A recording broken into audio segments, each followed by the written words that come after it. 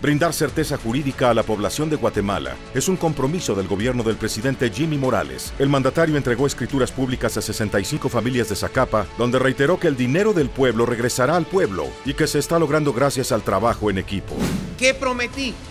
Prometí que el dinero del pueblo iba a regresar al pueblo. Y gracias a Dios lo estamos logrando. Y a partir del año 2016, 2017, durante su gestión, hemos beneficiado a más de 5.100 campesinos con el programa de acceso a la tierra.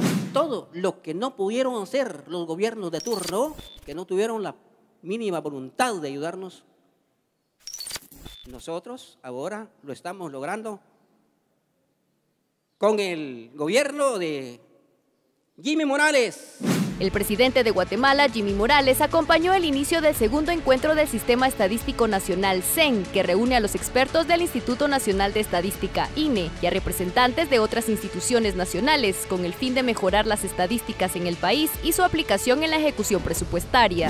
Es impresionante cómo ese tipo de información ayuda para la toma de decisiones y cómo día a día, hora tras hora, minuto tras minuto, con sistemas integrados de estadística podemos ir viendo todos los movimientos que se dan y los avances que tenemos la septuagésima reunión del Consejo de Ministros de Relaciones Exteriores de Centroamérica quedó formalmente instalada en la capital de Costa Rica. La cita se cumple previo a la reunión de jefes de Estado y Gobierno de la Secretaría de Integración de Centroamérica, SICA, programada para este jueves, a la cual asistirá el presidente Jimmy Morales. Nosotros esperaríamos que países como El Salvador, como Nicaragua, puedan sumarse muy pronto a la Unión Aduanera.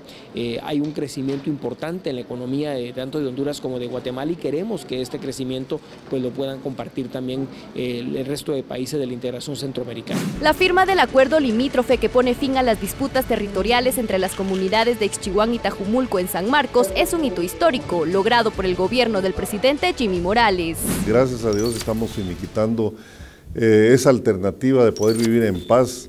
Eh, como ministro de la Defensa también muy satisfecho por todo este trabajo, por toda esta coordinación. No ha sido fácil. Al señor presidente de la República te agradecemos de todo corazón. Al señor vicepresidente, a todos los ministros. El Consejo Nacional de Seguridad Alimentaria y Nutricional, CONASAN, se reunió para conocer los avances de la estrategia de reducción de desnutrición crónica. Además, fueron juramentados los nuevos miembros de la sociedad civil. En el año 2018 vamos a activar tres departamentos adicionales en la estrategia de prevención de desnutrición crónica, el departamento de San Marcos, Sololay, Totonicapán, y que eso ya está contemplado dentro del presupuesto que hicieron todas las instituciones.